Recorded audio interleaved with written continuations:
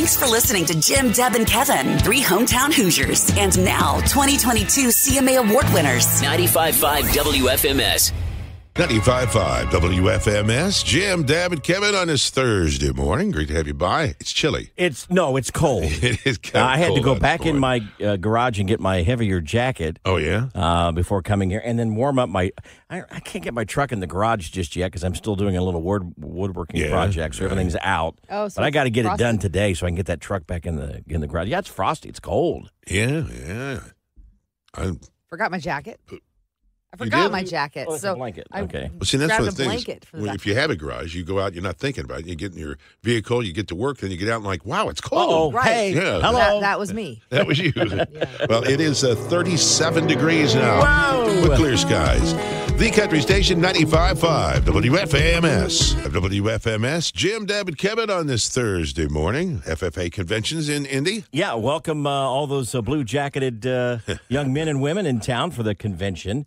Uh, we have this every year. Mm-hmm. Uh, Always of a big event. We are, of course, the headquarters for the Future Farmers of America, but uh, they have their annual convention here. So we have kids from literally all over the country here, Mm-hmm. uh, and uh, some famous alumni Okay. uh, of uh, FFA. Uh, uh, Tim McGraw, Tim McGraw. I didn't Has know a blue that. jacket. Uh, he Easton- would look good in that blue jacket. Easton Corbin has a jacket. Okay. Eddie Montgomery has a jacket. Oh, yeah. Trace Adkins has a jacket. His is probably triple X. He had to go to the big and tall yeah, shop. and Yeah. Taylor Swift That's right, Taylor Swift has a Swift. Jacket. How did I not know all this? Yeah, yeah, they're all I was alumni. up Kevin. Someone listening right now Yeah. who's here in town for the convention might be the next Tim McGraw, Easton Corbin, Right. Eddie Montgomery, Trace Adkins, or Taylor Swift. Who knows? Well, and you know, farmers get up early, so I'm, I'm betting you they're up early listening. I'm sure they are. Sure, they are Yeah. too. So Future we're, farmers. We're in the blue with pride.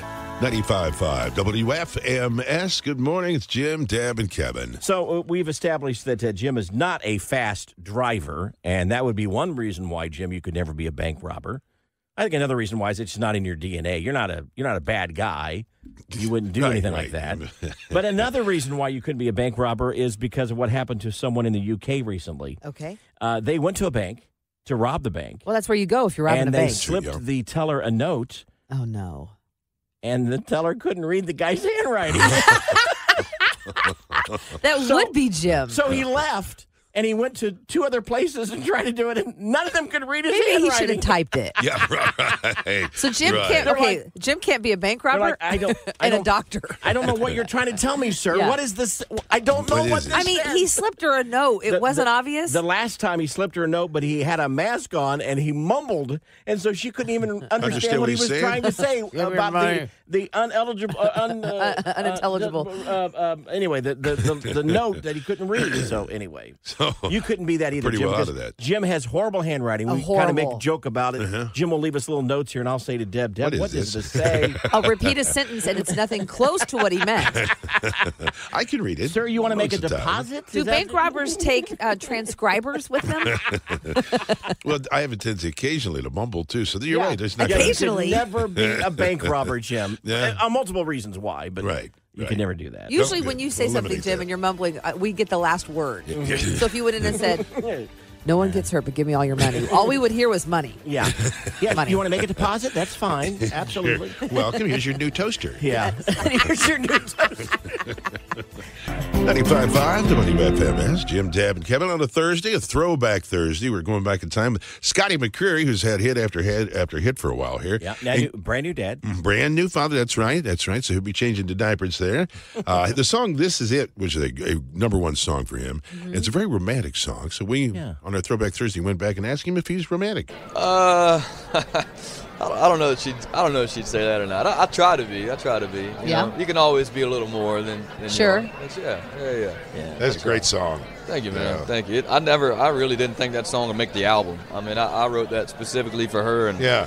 Played it for her when we got engaged. And once the label heard it, they're like, "Oh no, no, no! Oh, Yeah, yeah. We're, we're taking that. We're putting it on the radio." Everybody can relate to Oh. it. You don't want to Yeah, wait. it's cool, man. The other night we were playing a show and two people uh, got engaged during the during the song. Aw. And That's I gonna a bad lot. for the second guy because he's like, "What's going on?" I mean, he, he had to do it. I know. No, was that hard for you to put it on the album because it's personal? No, I love I love Okay. talking about her. I, I love I love sharing our story. It was great. Um, but it was just a surprise. I, There is a line in the song though where you talk, and I got to remember exactly how you say it. You, you- um, you make a reference that she's been wondering when Uh-huh. it's going to happen. Yeah, yeah. Was that? And I remember thinking. So I wonder, was she kind of getting impatient because you guys were together a while? She never put any pressure on me. Okay. I, I was talking to her friend, so I knew that she had been asking, like, Sure. do you Sure. think he's thinking about it? Do you think he has a ring? But she never once put any pressure on me, which I appreciated. Right. But I did. I had the ring in my closet for about four months in a shoebox, just sitting there, Right. hoping she wasn't going to go through Just the waiting closet. for the right moment. or- Yeah, exactly. Yeah. Yeah. Well, You you know, are, you're romantic then. We've we've talked to you back when you first won American Idol, and now Yeah. now, and you really haven't changed. uh, yeah. That that evidently is a Gained a few pounds. example of your of your upbringing, I think. Yeah, well, Yeah. I, I appreciate it. And Yeah. it's crazy to think. I feel like I've been doing this forever. It's been eight years now, and I'm still just 25. So it's That it's is been cool to see some some dreams come true and hit some goals. But you're still as humble as you were when you first won. And I think that's Oh, great. Very thank you. grounded. Yeah. You. I got I got people that slap it out of me if I ever, if I ever get big heads. That's Yeah, right. They don't really care, so it, it's cool. But we're, we're having fun. That's all that matters. so. Well, you you uh, wrote most songs, or if not all of them, on that album, didn't you? Yeah, every song on the record, which Right. again wasn't planned. Uh, that whole between my second album and my third album, none of that was planned. I mean, we got ended up getting dropped by a label and stuff. We had a full album ready, it didn't come out. So I had five years to write 11 good songs. So I mean, I hope I could at least write 11 in five years. You done good. Oh we, we, my! we had we had a lot of time to work with, so Yeah. that probably helped us out. that was some. probably the best thing for you. it kind of kind of put things in perspective and kind of made me grow up a little, pull myself up by the bootstraps, and, and say, you know what, you can either mope or you can work harder. Right. And Yep. So we're, we're here today. We're so- glad you're in country music. You No, definitely are. represent I, us I well. love being here, so thank Yeah. you all. Good for, ambassador for us. Appreciate it. Thanks. Scotty, a little throwback Thursday with Yeah. Scotty McCreery. So And he- nice. He is a very humble guy. Very you know, nice guy. uh, and it's, kind uh, and very uh well humble and kind that's the title um but he's always just so personable you Yeah. know yeah, very he- polite He likes hunting, fishing, loving every day. No, that's no, that's Luke Bryan. Luke, Oh, okay. Yeah, Yeah, yeah, I- get- I, get was just guys- doing song titles. Okay. Okay. I was doing here. thank you 95.5 WFMS. Jim, Deb, and Kevin. This uh, statistic will make you go, ooh. Ooh, yeah. Chicago is the nation's r- r- rattiest city. Rattiest. It has Yeah, the most, most rats. oh Uh, and Indianapolis is number 15, and Fort Wayne is number 48. Wow, we're 15? That yeah, so awfully we made the we two of our cities made the top 50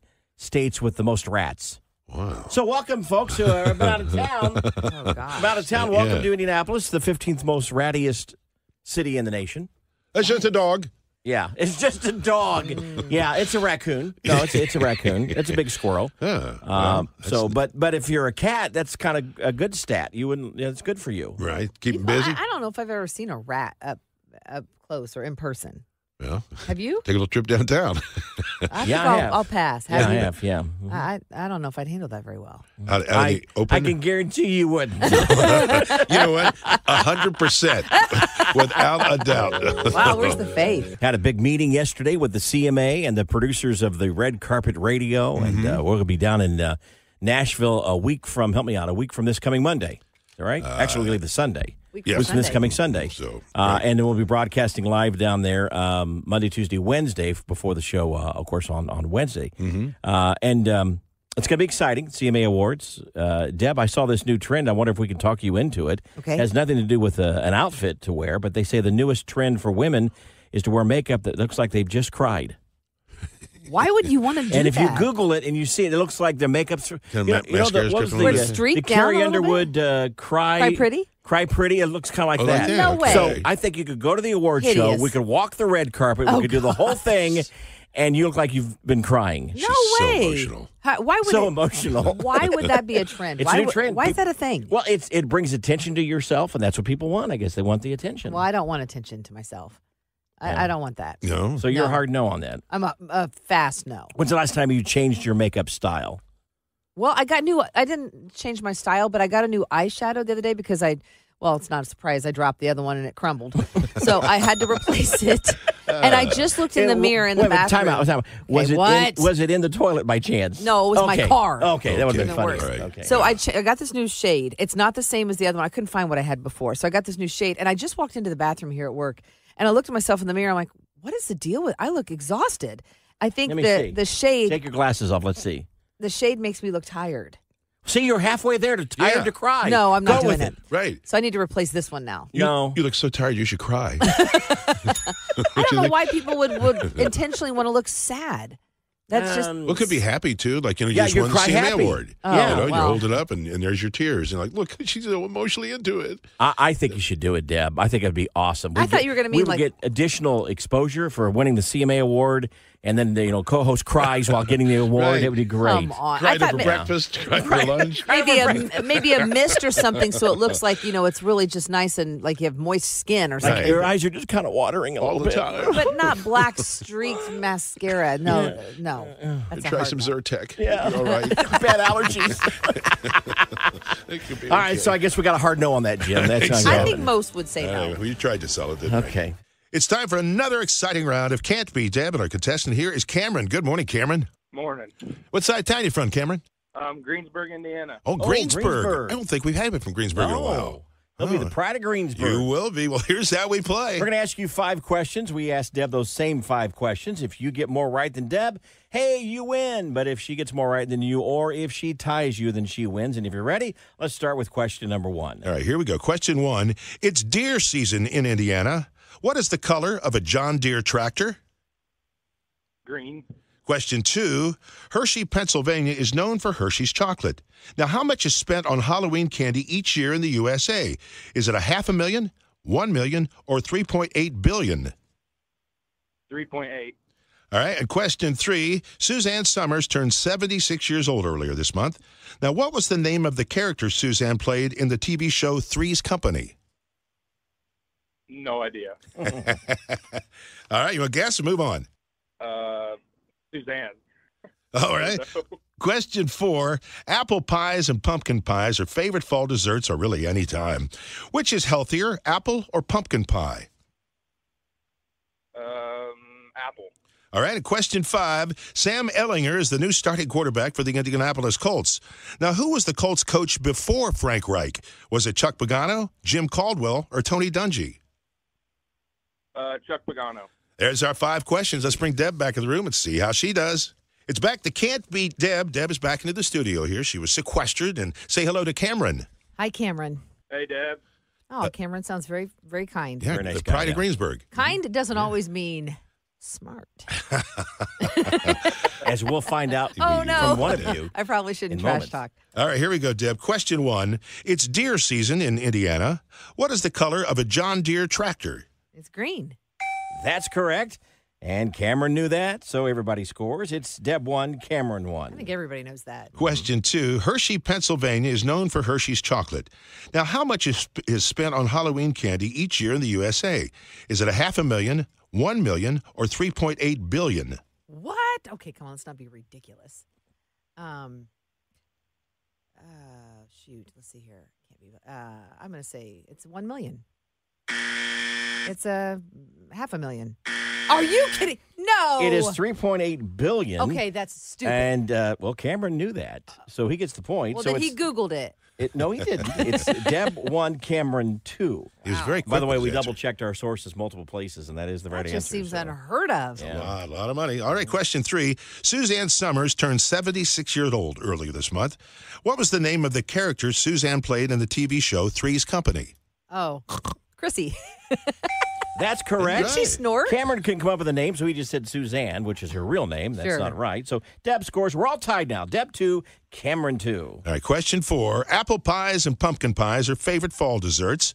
Now, which is healthier, apple or pumpkin pie? Well, this is going to be a total trick question. Okay. Pumpkin has good nutri- nutrients in it. Apple can still have some sugar, so I'm going to say pumpkin. That's correct. And Cameron guessed apple, which is not right. So Deb gets the point. Oh, I don't sound. I mean, so Deb Yeah. gets the point. You're not happy for me? Uh, it's uh, Deb three, Cameron two. All right, here we go. Question five. Sam Ehlinger is the new starting quarterback for the Indianapolis Colts. Now, who was the Colts coach before Frank Reich? Was it Chuck Pagano, Jim Caldwell, or Tony Dungy? Oh gosh. Oh shoot. I should know this. Should know I live here. Uh, let's see here. Well, I'll tell you that Cameron knew it. Well, good for Cameron.